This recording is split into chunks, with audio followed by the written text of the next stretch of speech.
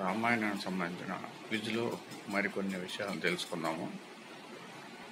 భరతుడు శ్రీరాముని స్థానంలో వేటిని ఉంచి రాజ్యపాలన చేశాడు? శ్రీరాముని పాదుకలను. భరతుడు ఏ గ్రామంలో కుటీరం నిర్మించుకొని పద్నాలుగేళ్ళు అయోధ్య రాజ్య ప్రతినిధిగా కార్యభారం వహించాడు? నంది గ్రామం.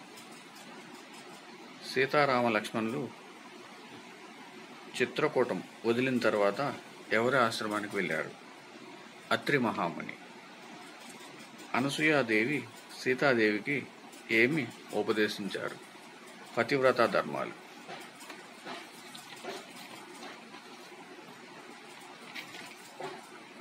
సీతారామ లక్ష్మణులను అత్రి మహాముని ఏ అరణ్యంలోనికి వెళ్ళమన్నారు? దండకారణ్యం. అగస్త్య మహాముని రామునికి ఏమి బహుకరించారు. దివ్యమైన ధనస్సును. అగస్త్య మహాముని సీతారామ లక్ష్మణులను ఎక్కడ ఆశ్రమం నిర్మించుకోమన్నారు? పంచవటిలో.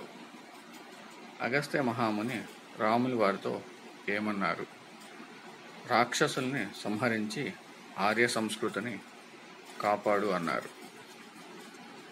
రాముడు శూర్పణకతో ఏమన్నాడు?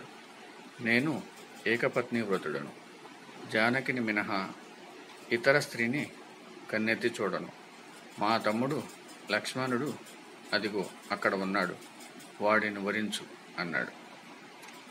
శూర్పణక ముక్కు చెవులు కోసిందెవరు? లక్ష్మణుడు. శూర్పణక సోదరులెవరు? కరదూషణాదులు ఓం సమర్థ సద్గురు సాయినాథ్ మహారాజుకి జై. ఓం సమర్థ సద్గురు భరద్వాజ్ మహారాజుకి जय श्री राम।